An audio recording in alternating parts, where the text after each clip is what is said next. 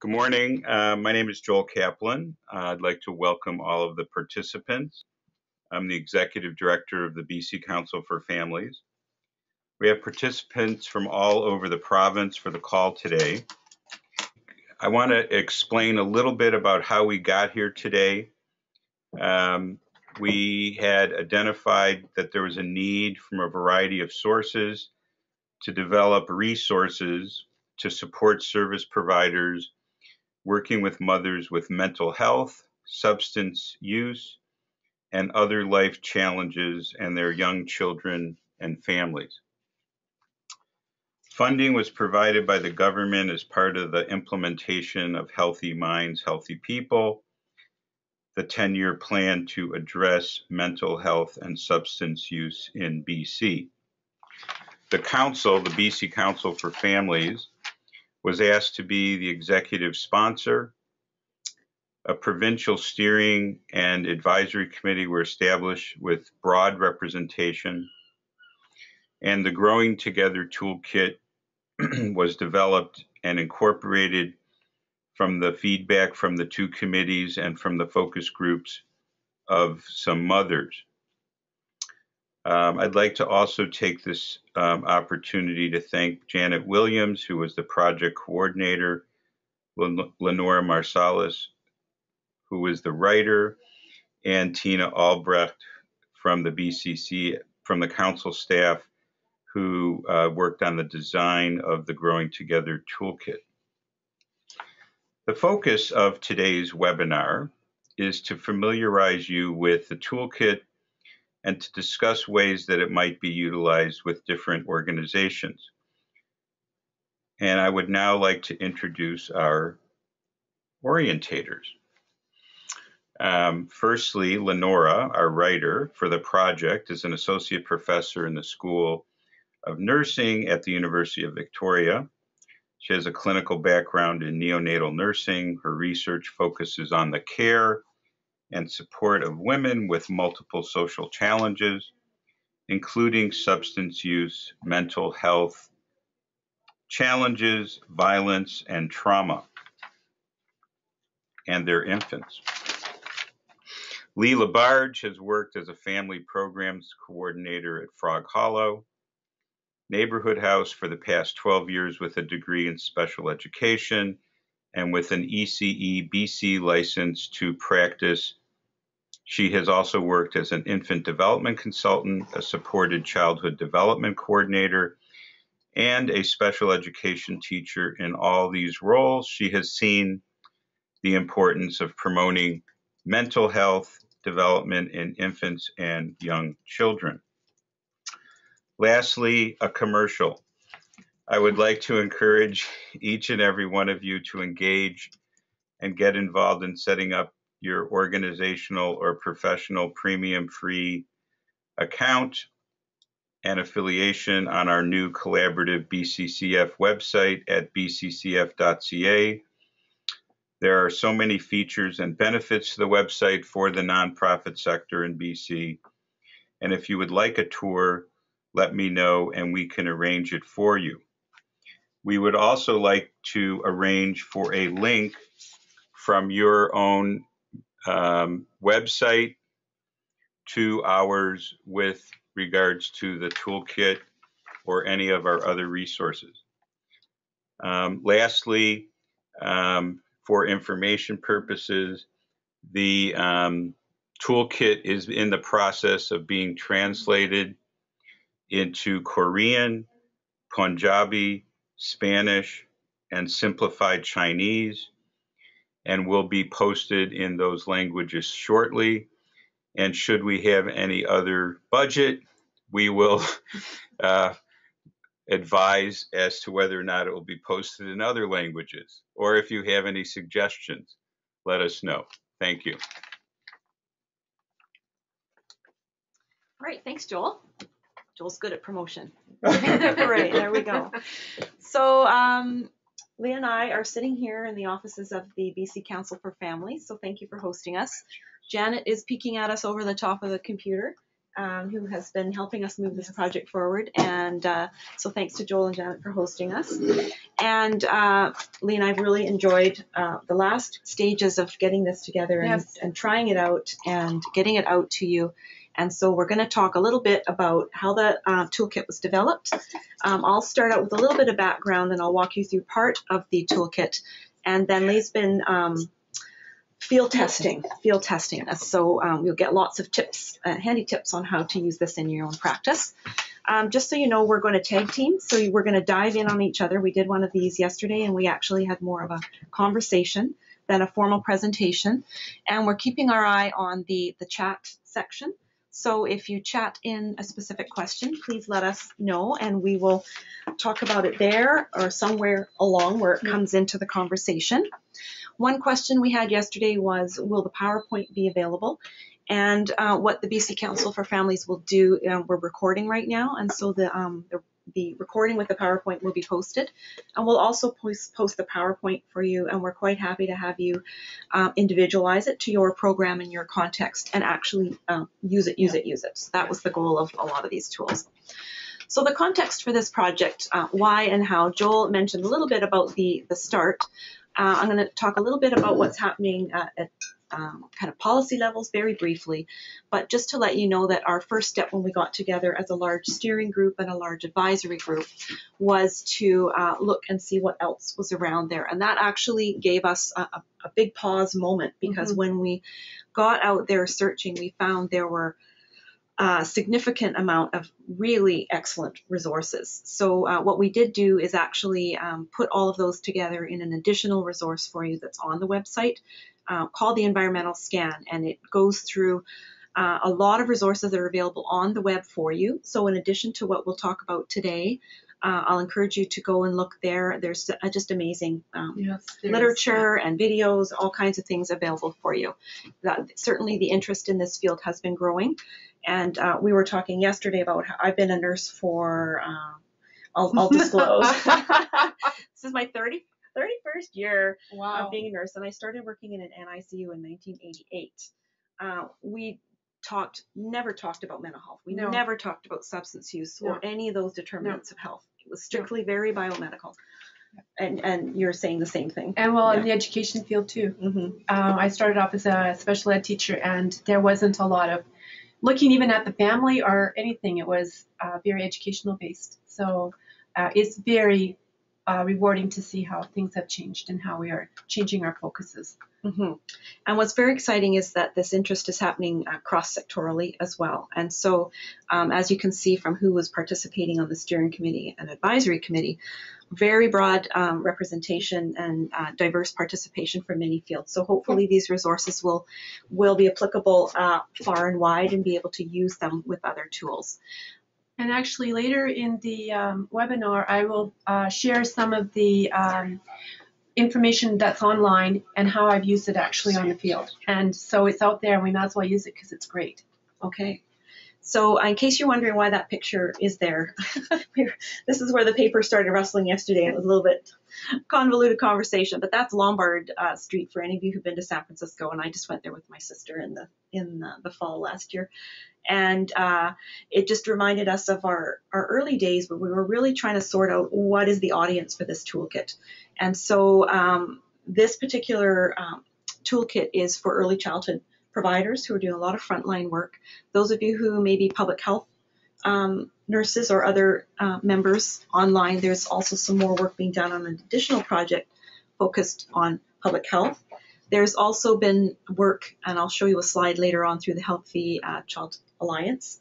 Uh, that's targeted towards social workers, different groups. So, trying to come up with um, a range of resources that are connected um, but relevant for different groups in different sectors. So, just very briefly, um, as we are certainly hearing more and more about all the time, that increased awareness of the significant um, the significant impact of mental health issues and how they begin in childhood or adolescence. And I know teaching on a, a university campus, it's been a huge initiative across the country looking at mental health for um, for young people on campuses.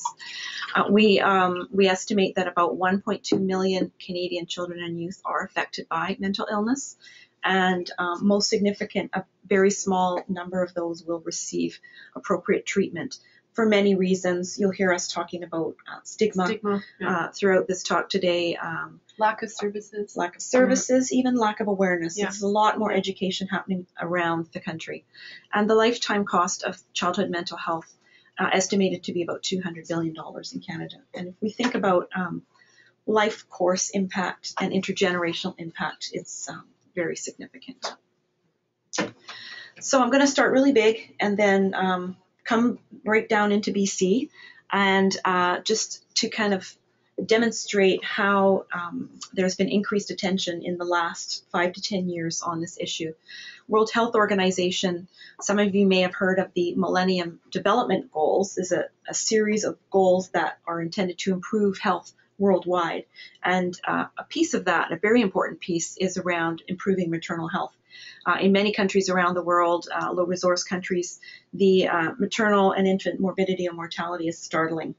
Um, a lot of that is, is related to more physiological things, but there's been a lot of awareness around mental health and the importance of that globally, not just here in Canada and BC. And um, also, really, uh, an increased awareness of the impact of maternal mental health on the growth and development of infants and young children, and continued kind of growth and development of families. Here in Canada, we had our first mental health strategy released in 2012 uh, nationally, developed by the Mental Health Commission of Canada, and it builds on earlier framework, um, mental health framework uh, work that was done. Their goal is that all people living in Canada do have the opportunity to achieve their best possible mental health and well-being. Uh, on the next slide, I just have the strategic directions from that document. I'm not going to read them all to you. I just wanted to highlight that um, in one of the um, directions, they are looking at mental health across the lifespan. And many people actually that we work with and the general public would not think about including infants in, in that lifespan piece. So it's um, a- some advocacy and awareness work for us to uh, let people know that infants fall into that piece and fostering that recovery for people of all ages. Um, again, in that document, they are are increasing our awareness that infants and children are included in the, this life course perspective, and that the focus from that developmental point of view is the concept of resilience, which we will talk about a little bit, and they will mention um, from a practice perspective on how we promote and support that development of that capacity in young children uh, for their overall well-being and for mental health uh, as well. This is our plan here in BC, and it feels like it was just released, but you know this is the fifth year that it's been out. There's been a lot of um, lot of work across different sectors looking at mental health and substance use in BC. Uh, I was working at the Ministry of Health at the time when a lot of the foundational work for this was was being planned. Then I was in a health authority setting where we were doing some implementation and planning and looking at what we were doing. And, uh, and it's been really great to work with this team on something very specific uh, that fits into this big plan. The priorities for BC, and very clearly the uh, concept of mental health in early childhood, starting in that phase, um, was um, highlighted. And we were, those of us who work in this field were really excited to Yes. see Yeah. uh, pregnancy and early childhood uh, included in this life course look. And um, a quick quote on the right there you'll see is that we know that this the stronger the foundation you lay in early childhood, the the bigger the lifelong impact it has for the well-being of individuals, Yeah. families, and communities. We're also uh, pleased to see that they're acknowledging substance use, and those of us who work a lot with families will know that often mental health and substance use challenges can Yeah. come hand in hand. Chicken and an egg thing. Sometimes Exactly, you never know what exactly. comes first, but um, they can often um, occur concurrently, and you need to address them both at the same time. Uh, we would also toss um, violence and trauma in there most likely. I would is Yeah. that that kind of three-legged stool where you need to look at all of those things together. Um, important too that they're acknowledging the impact of stigma and discrimination in our communities, and that there's a big education piece uh, across as broad as we can, Yes. general public, students, schools, health, every social support everywhere. Um, many of you may have seen this, but from the in the health sector, there was a framework almost 10 years ago released looking at um, how we improve our services and coordination related to perinatal depression, just to let you know that that is there. And uh, an excellent resource. If you haven't seen it, many of you may have. We were were we talking what year this was Uh, released? I should have put the year on there. five, five years ago, Five years ago, yeah. Um, I just want to do a heads up for this, um, the social emotional development in early years. I've used it a lot, and it fits in just very well with this um, toolkit as well. Um, I use them interchangeably, and if you go to the website, it's a wealth of information and some really great videos that anybody can use with staff training or parenting classes. And it's just a really good uh, resource to have around for people who are working in family drop-ins or resource uh, family resource programs. Right. And one of the things we realized as we were doing this work was there are amazing resources out Yes. there, and sometimes we forget about them. Yes, Um, so this is one. this is a little Yeah. reminder. It's out there and it's really great. Yeah, if you go on the website, you'll find PowerPoints that you can Yeah. download, teaching notes, handouts, all kinds of things. So um, that's a, another complementary resource yeah. for you. Yeah. Yeah. Okay, and most recently, uh, last year, and Janet was involved in this work too. I'm eyeballing her. is um, development of best practice clinical guidelines for um, perinatal providers. This one uh, gets a bit more into some of the clinical information. It talks about different medications that you need and different kind of care path plans, um, but just to let you know it's there also. Um, some of the data they include in this report is acknowledging that as many as one in five women uh, will experience a mental health disorder during this period of time. Uh, it is a significant period of time. We also know, those of us who work with families, that this is a time of, um, it can be increased stress for yeah. families, um, in, increased uh, vulnerability for women around violence in their relationships. There's a lot of, a lot of things happening here. Um, although um, the important thing, message I think, is is to be looking earlier and treating earlier and coordinating earlier. Yeah, I agree.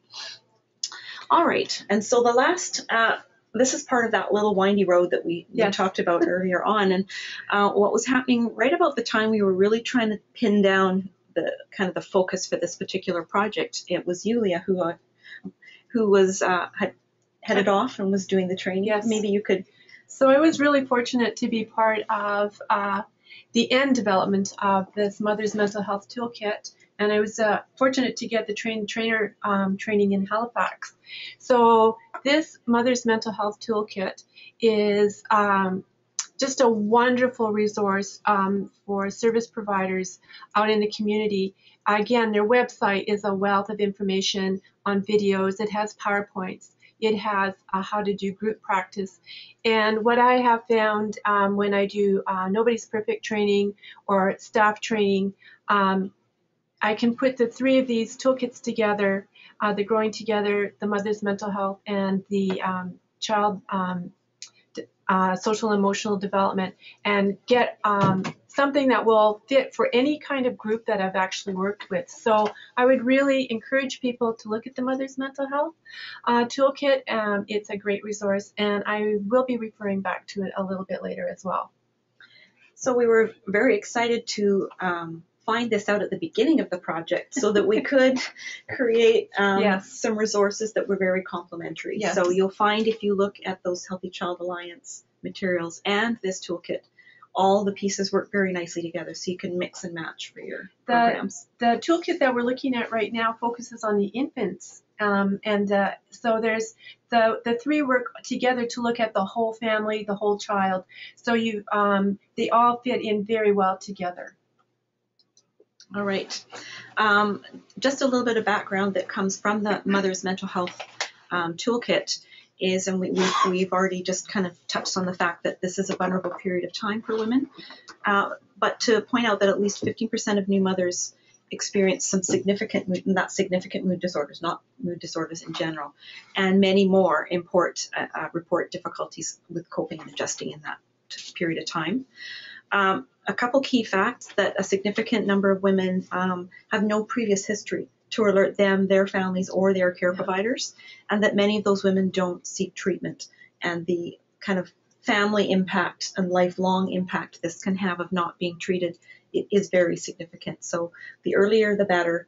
um, is, a, is a key message from a, a lot of this work. I think this um, also ties into the point you made about stigma and fear and also cultural awareness. Uh, when I field tested this toolkit out in the community, um, many of the women from other cultures and other languages didn't even have terms that they could use to describe what was going on. So when we were able to talk about what it might look like for the different women, there was a lot of aha moments for women because they didn't even know what was going on. And so I, I really, um, I'm so appreciative of the fact that we have these um, resources to use to help these to help start conversations with the moms who may not even have an idea of what what they're going. They don't even have a name for what they're going through. It's a really important point. Yeah, Thank and you. I'm so glad this is being translated because um, I remember having a conversation about what kind of characters to use with the simplified Chinese that would describe what the women were going through, and it was very interesting because that didn't come. Those kind of conversations didn't come easily. So having translated material is going to be really, really beneficial.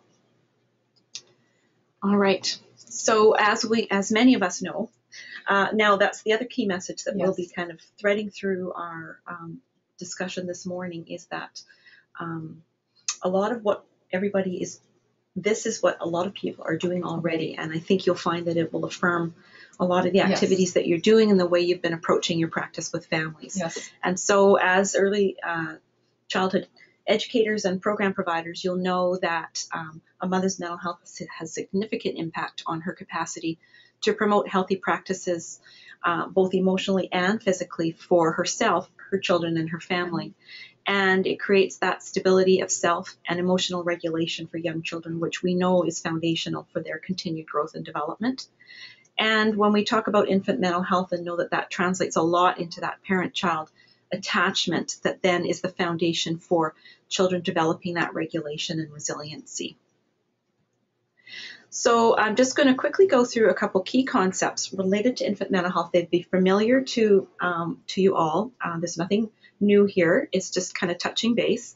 Uh, there, the first half of the toolkit does have a little bit about what infant mental health is, um, where you might notice some might have some early um, identification of what's going on and some and some first steps you can do. And Lea's going to talk um, more about that.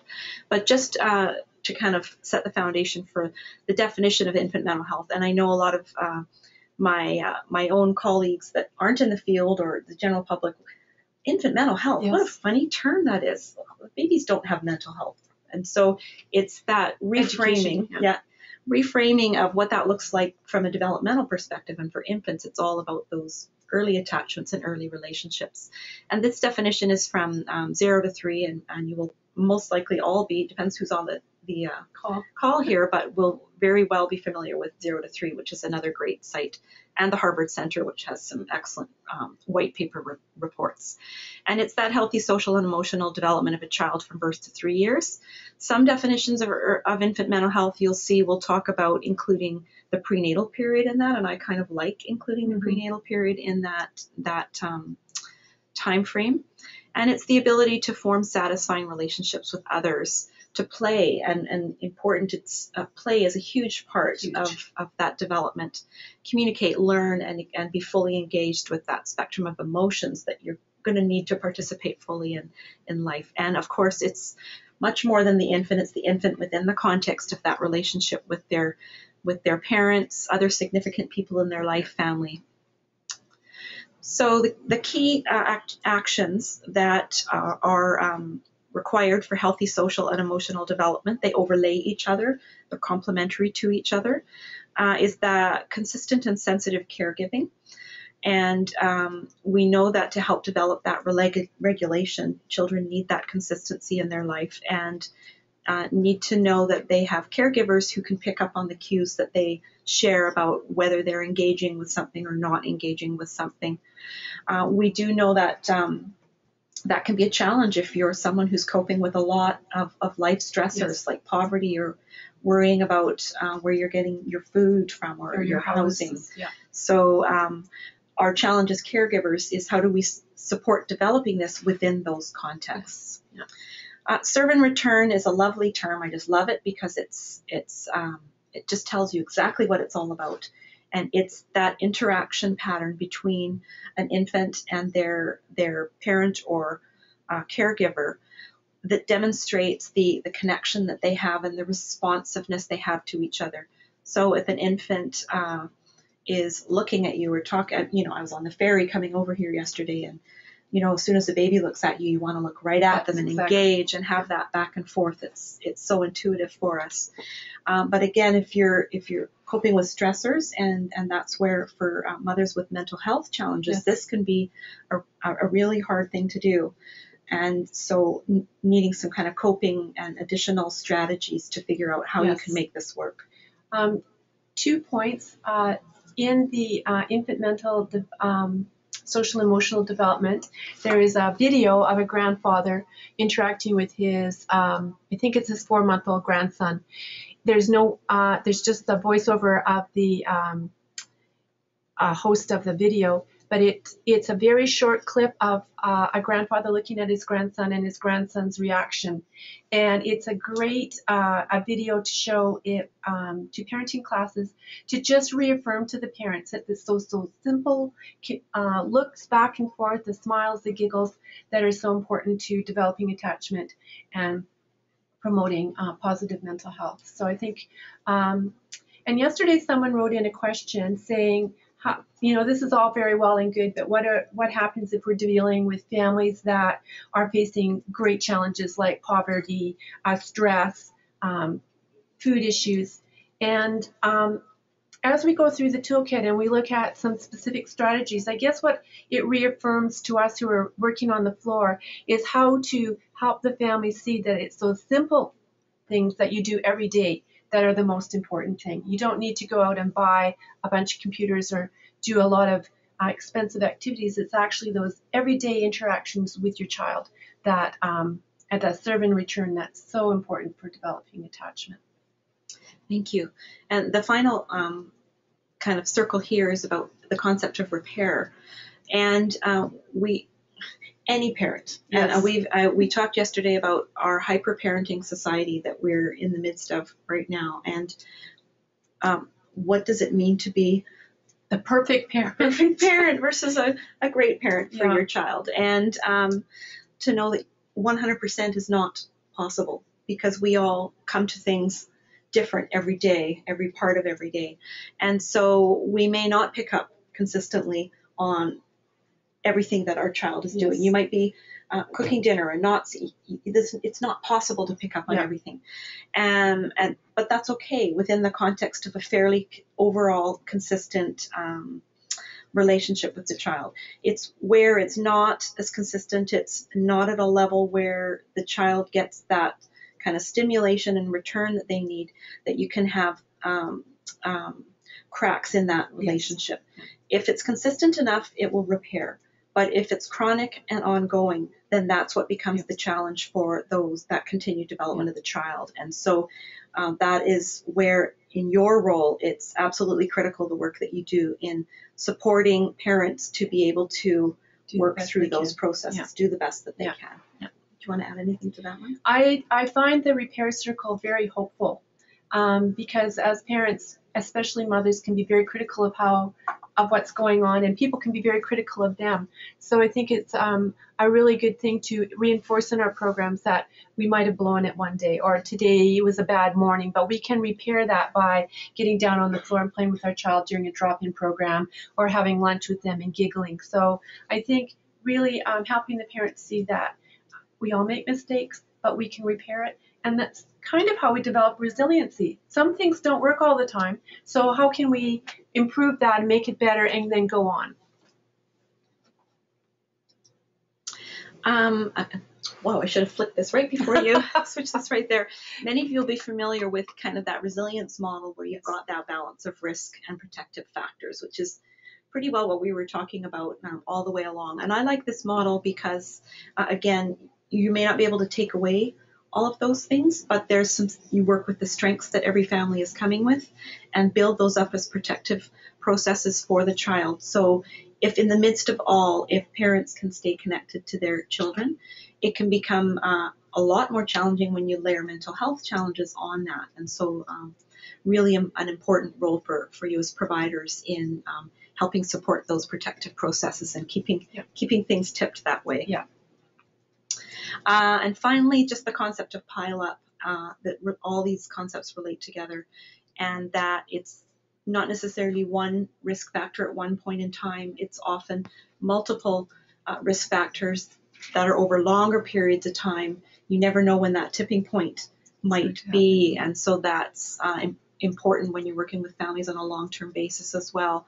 But it's that pileup of things that can actually then it's just too much for families, and that's when uh, you know the vulnerabilities really start to happen. So you can see here that there's factors from the infant and child perspective, the parent perspective, the relationship, and uh, as we were just talking about, kind of those environmental factors, which um, here in Vancouver, uh, in Victoria, where I live, across the province, across the country, um, are significant. Yes. So in this toolkit, I'm going to talk for two more minutes and then over to Lea, is uh, there is the workbook. That's a screenshot from the cover page there. And the first part is about the, uh, for you as providers, a little bit more background. Many of you will, it'll be very familiar material, but it's kind of uh, condensed in a little bit and um, hopefully will be helpful uh, worksheets even for yourself as a team to come Yeah. together and talk about your work as a team. Uh, you can also download the worksheets separately for yourself to use in your programs. This, we posted the scan for you there with web links to a lot of amazing resources. Uh, we'll have a, a poster, it's not there yet, but there will be a poster that you can um, put up on the walls in your programs, and we'll post these webcasts for you as well. So that's what will be on the um, BC Council for Families site. So um, I was really um, fortunate to do the field testing for this, uh, the Growing Together toolkit. And uh, I'd like to share with you my experiences um, for, of the last year uh, working with it in the field. Uh, the first part, as Lenora said, the information for service providers, um, has an introduction on infant mental health. Um, some of the slides she uh, has in this web, webinar actually are in the book. Um, talks about how babies' brains develop, what infants need for positive mental health, what may go wrong, and what to do if you suspect something is wrong. So it has a really nice flow. It goes, it really, we really are looking at promoting wellness, going from the strengths based, what can the families do and how can we support that to the best that we can? And then if something goes wrong, um, how can we support the families? Um, I've used uh, uh, the uh, staff that and people that I've used the first part of this toolkit with um, have found it very pragmatic, um, uh, down to earth, um, uh, common sense, and for many of them, they said, "Well, we know this," and I'm, that's great because what the toolkit does is reaffirm the work that we're doing actually in the field. I do have a couple of things that I just want to heads people up about. It may be things that you're already aware of, um, but just uh, a couple of notes. Um, when uh, we first started working around the area of mental health um, in my in my program, a lot of the staff were very very um, worried that they would make mistakes or that they didn't have enough information um, to go ahead and do this kind of work. So I think it's really important to reassure the staff or anybody that you have working uh, with parents, uh, especially around the issue of mental health, that they're not doctors, they're not medical staff. So that responsibility for diagnosing or determining um, what kind of uh, medication or anything that the family might need is not their responsibility. They should not diagnose.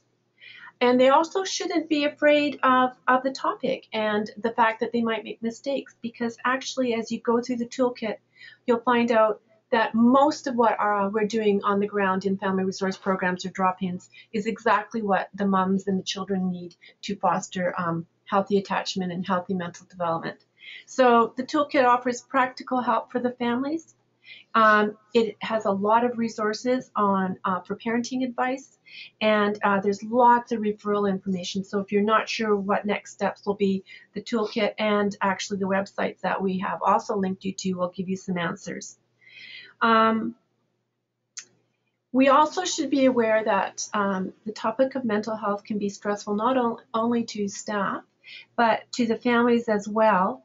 And we mentioned the issue of stigma and discrimination. Many people are scared to even go near this topic because it is scared of the stigma. So, as people working on the floor with the moms, we should really follow the lead of the mother. Um, we can be red flagged when we're on the ground. We can have a worry about a mom, but we have to be careful how we go into these conversations with the parents and follow the mother's lead. Um, it's good to go cautiously at first. Um, and again, the, um, the challenges that the families are facing, they may be facing such huge challenges that attachment or conversations with their children or all of this may be just seeming like one more thing that they have to deal with. Maybe one more thing like it's just too much. But the toolkit also will highlight in our seven everyday opportunities that most of what we do on the floor and we support with the moms is what's needed. So you don't need to go out and get a whole bunch of extra stuff. And just to support the moms who may be uh, having more challenges and, and reaffirming what they're doing with their infant um, so that they feel stronger and more resilient to go through their, through their life. I've used the information for parent worksheets um, in Nobody's Perfect classes, uh, parenting classes, mother support groups. I've pulled them out and talked uh, uh, individually one-to-one with women in our program, and um, I've used it with staff training. And um, I have been fortunate to use the Mother's Mental Health Toolkit and the Social Emotional Development in the Early Years Toolkit as well. And I found that putting pieces of all three together covers everything, so just about. So um, really, really good resources, and I strongly recommend everybody look them over and see how they would um, can fit into their programs. What I like about the sheets, and I think everybody on the ground will love this, is that it promotes wellness and can be used with all moms. So even if you don't want to bring up the um, topic of mental health, uh, you can bring, you can use these um, in a generic, very general, let's help each other together. What I noticed when I was um, doing focus groups was that most people registered as I want to help my friend. So that's just a, an indication that there's still a fear of stigma. There's still a fear of being labeled. So people are very interested in the topic, um, but they might need a more generalized approach. So when we do work around this topic, I usually say, do you want more information to help yourself or to help others? And then that opens, it allows the women to develop a sense of trust with the group and the facilitator and then maybe share later that it was for them.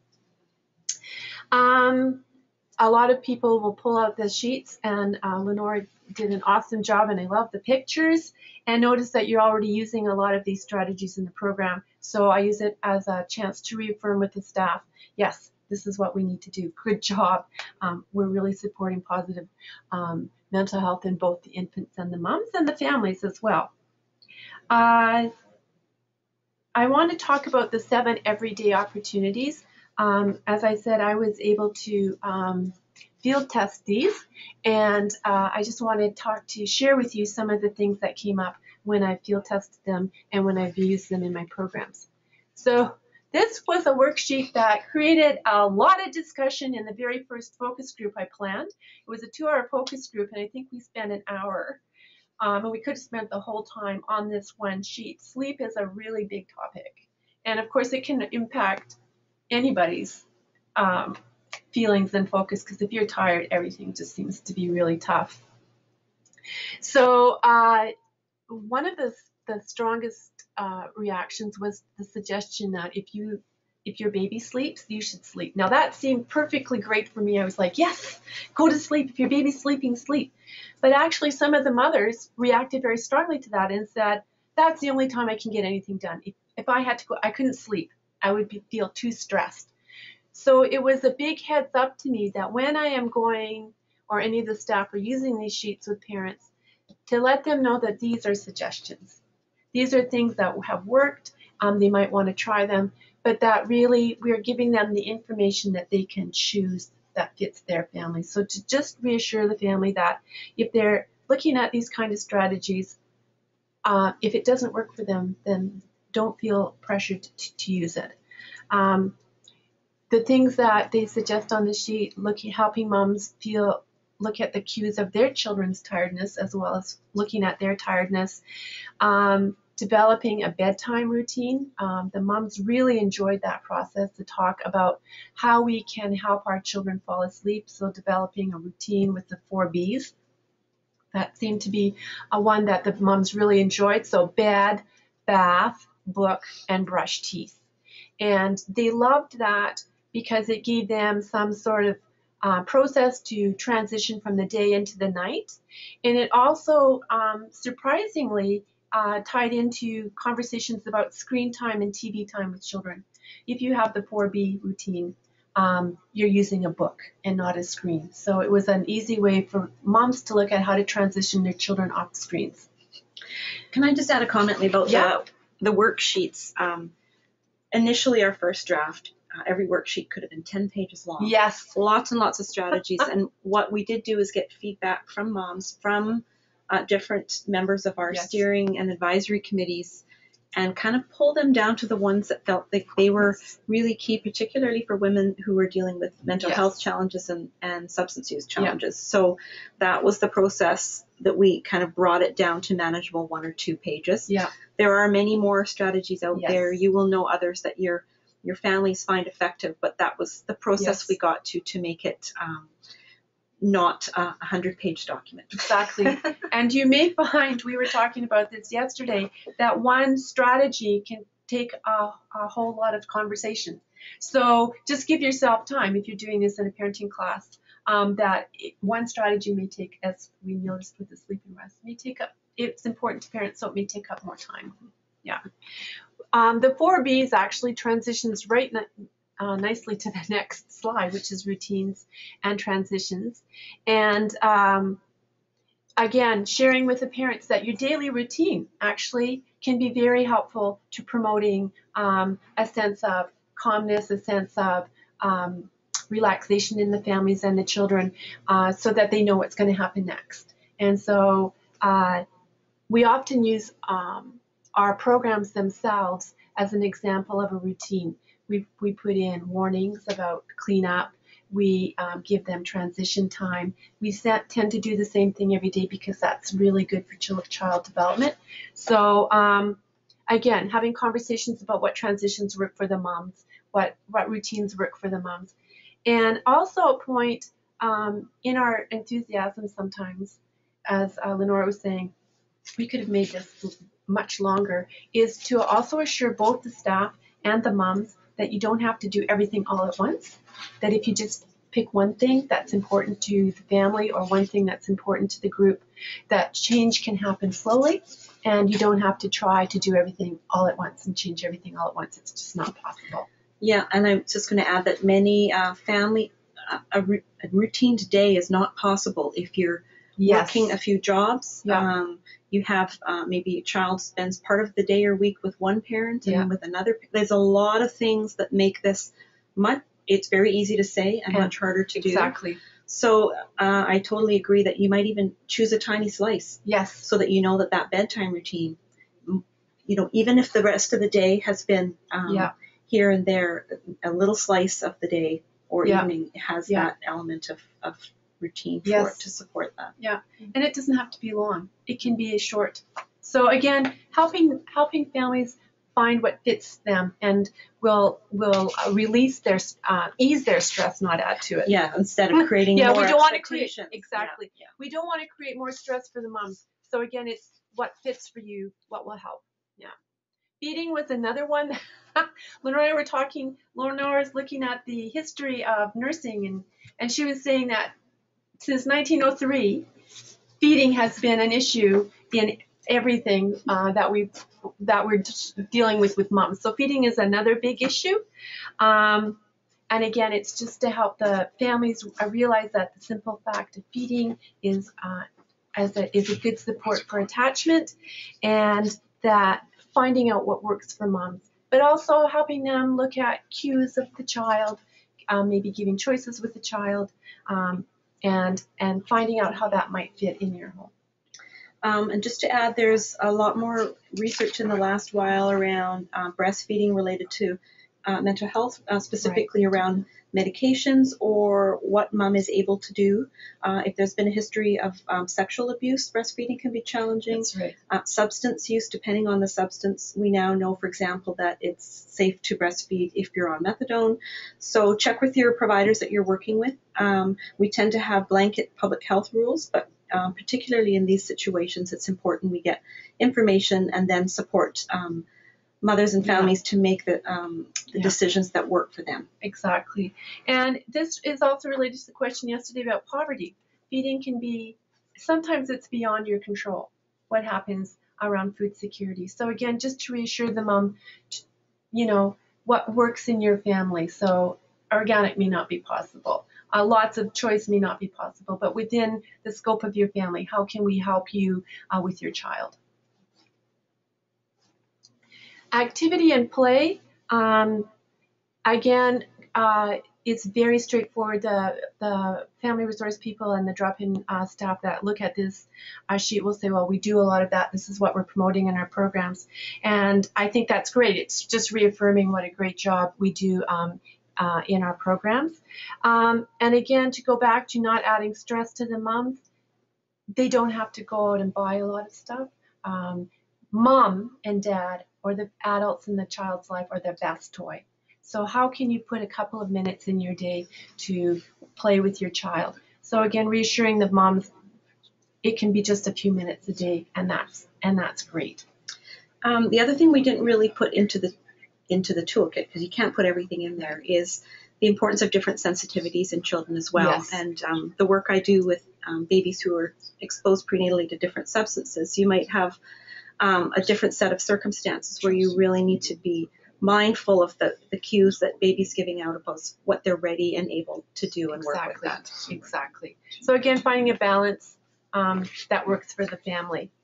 And that goes into the touch because um, touch is a very important component of developing attachment and positive feelings with the child and the caregiver.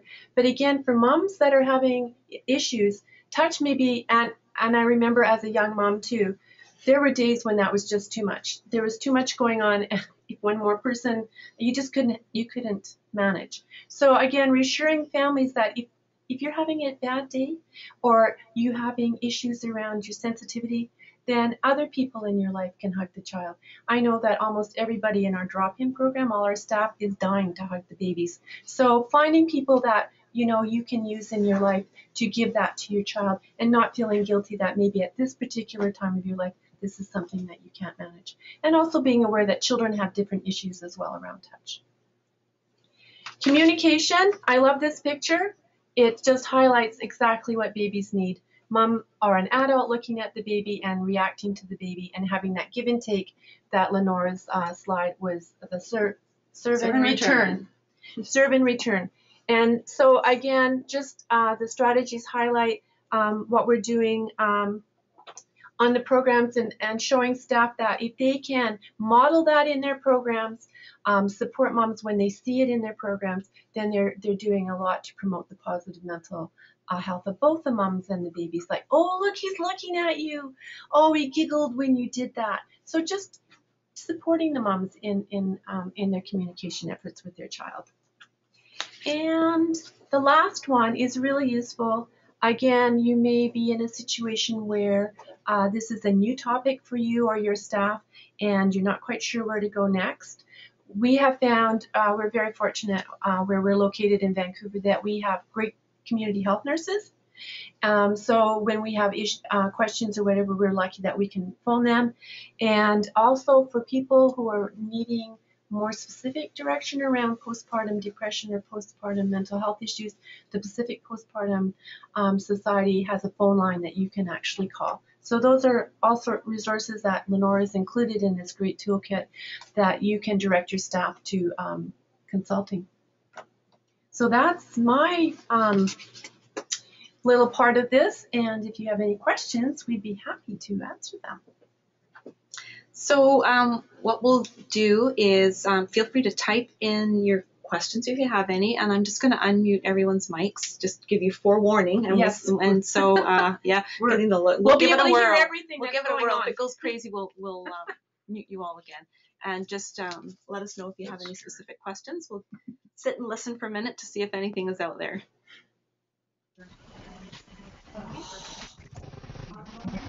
We'll sing. We'll sing. Yeah, we'll sing we a song. could. That'll make a back a question. yeah, we could sing roly poly. Sounds like Tracy's trying to ask. All right, okay. Okay, thank you very much, Vicky. Bye-bye. Uh, I Just get the volume up. She's talking. Okay, Tracy, if you're talking, we can't hear you, so uh, feel free to type it in for us. Have all these printed and sitting here. I know. And That you can hear her over there? No, No, there's somebody, something going on. That something. we can't hear anything, so uh, what we'll do is gonna Is that what um, mute you all again. We're finally figuring out the technology here. Yeah. And um, we'll just let you know that there is an evaluation link you can go to uh, for the evaluating this session. And also, we're very interested in your thoughts on the toolkit. We'd love to hear how you're using it, uh, where you're using it. Um, it will be helpful information for the advisory group for this project and also for um, the other projects that are underway in the province around maternal mental health. And I'm a lot of people are on steering or uh, advisory committees for many of these projects, and they're all feeling fairly coordinated. So, uh, any learning we have here will translate to some of those other projects that are underway. And I'll turn it over to Joel. Yes, so um, could you go back there? Yeah. So um, yes, here's the link to the post where you can um, evaluate the about uh, the session, our orientation session, and um, and then when you download the the the toolkit and use it, you could come back to the website and rate the toolkit, and you can also tweet about it and social media about it with that little X little plus sign there.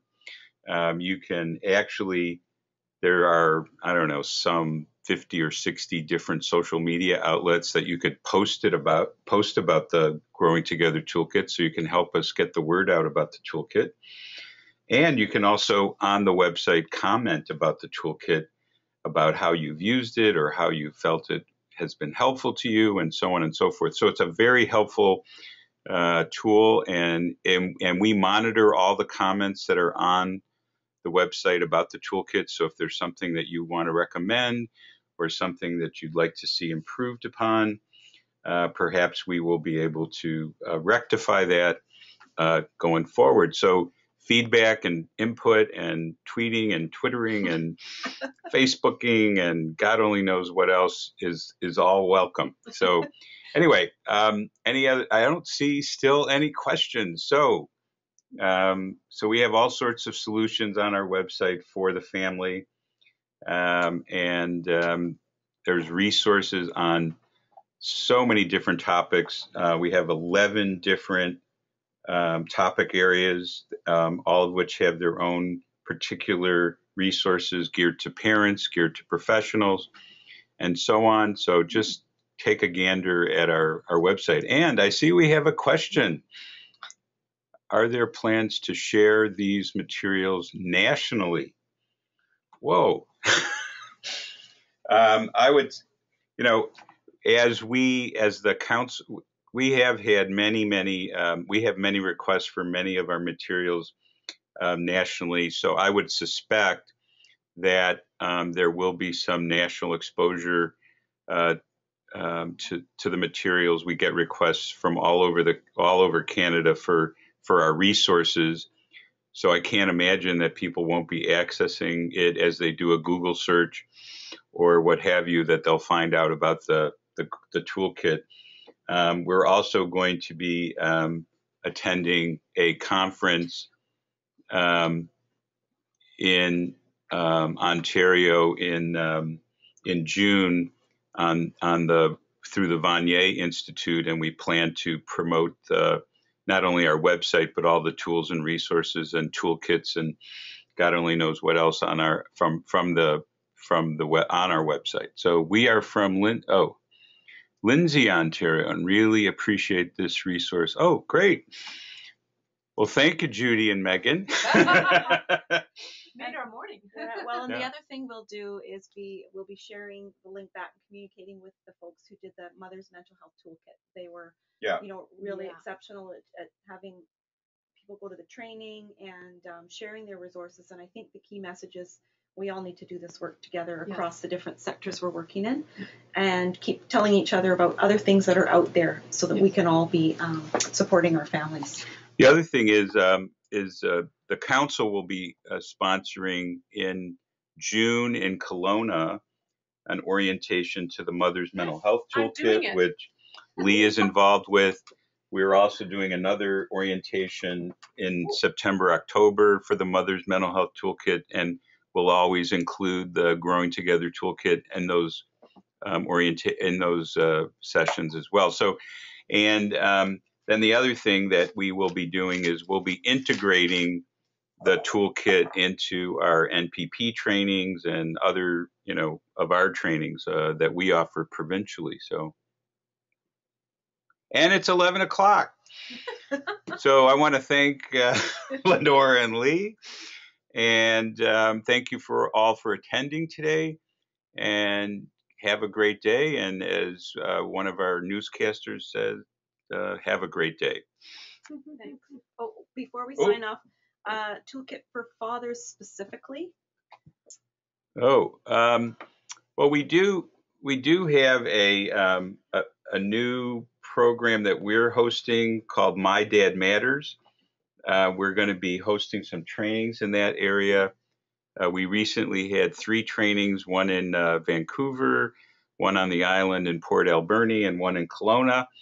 So you might want to look out for those coming up. And we also have a um, um, a- lots of different resources for uh, for dads on our website. But I would say that much many of the resources are not just for for moms. I mean, they're they're they're for dads too, and you know, dads are parents. So, or some we'd like to hope they are. Now, now some of the other, like in Australia, their um, um, parenting with mental illness site, I believe, has some father-specific material. So there are some organizations who have done father-specific material. And the Mother's Mental Health Toolkit has some sheets there that can be used for the people around the mom. And so there are some things there that can be used with the dads as well. Yeah. Great question. All right. Great. Thank you, everyone. Thank you all. Thank you, everyone. Super. Yep. Thank you for your posts and your Yeah. questions. Bye bye. Have a good day.